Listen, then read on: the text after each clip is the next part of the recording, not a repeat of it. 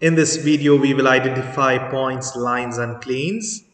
Here we have been given two planes and some set of questions. Let's say name the lines that are only in plane Q. So this is plane R and this is plane Q. So which are the lines over here? Line N and line Q. Those are the ones. How many planes are labeled over here? There are two planes, right? R and Q. So that are the answers. There are two pl planes over here. And name the plane containing the lines M and T.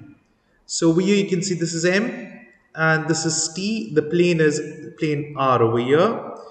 And name the intersection of lines of M and T. Where do these two lines intersect? At the point C. So that is the answer. And these two are in plane R. Name a point that is not coplanar with point ABC. Coplanar means it must be in the same plane. Now, these all points over here, ABC are in this plane. Non-coplanar would be in another plane. So I can't choose D and M because they are not exactly in the plane, they are in between. Let's say this is in between, this is above. Whereas I can see the point P is in the plane Q. So I would choose point P over here. And R, F, M, G, P coplanar. F, where is it over here? M, G, no, they're not coplanar because they need to be in the same plane. Now over here, this is in one plane R and P is in plane Q and this is in between the other two planes. So no, this answer is no.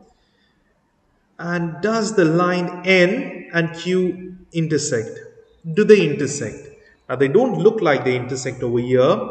They will not intersect in this plane, but can you see this it goes infinitely long, isn't it? So if I extend them, yes, they'll intersect somewhere over here.